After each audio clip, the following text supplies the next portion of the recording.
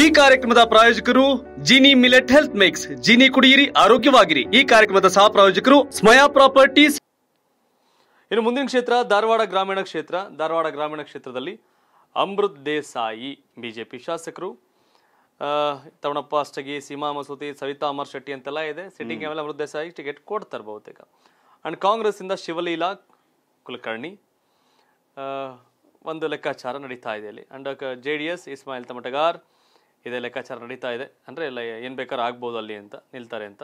But ಇಲ್ಲಿ fight between Congress ಹಾಗೂ B J B J P Shivaleela ಅವರು ಅತಿ ಹೆಚ್ಚಿನ ಲೀಡಲ್ಲಿ ಅವಕಾಶ ಆಗತ್ತೆ ಅನ್ನೋ ಚರ್ಚೆ ಇದೆ.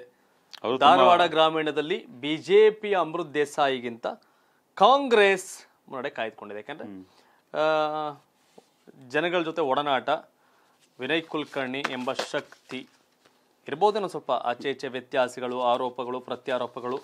ಅವ್ರು ಜೈಲಿಗೆ ಹೋಗಿ ಬಂದ್ರು ಯಾವ ಕಾರಣಕ್ಕೆ ಹೋದ್ರು ಏನಾಯ್ತು ಎತ್ತ ಸಿ ಬಿ ಐ ಅವೆಲ್ಲವೂ ಇರಬಹುದೇನೋ. ಬಟ್ ಅದೆಲ್ಲವನ್ನೂ ಹೊರತುಪಡಿಸಿ ಪಾಪ್ಯುಲಾರಿಟಿ ಅಂತ ಇರುತ್ತೆ.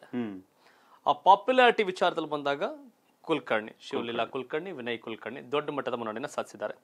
ಧಾರವಾಡ ಗ್ರಾಮೀಣದಲ್ಲಿ ಕಾಂಗ್ರೆಸ್ ಬಿಜೆಪಿಗಿಂತ ಹೆಚ್ಚು ಮುನ್ನಡೆಯನ್ನು ಕಾಯ್ದುಕೊಂಡಿದೆ ಕರ್ನಾಟಕ ಟಿವಿಯ ಮಾರ್ಚ್ ಮೆಗಾ ಸರ್ವೆಯಲ್ಲಿ. ಎಸ್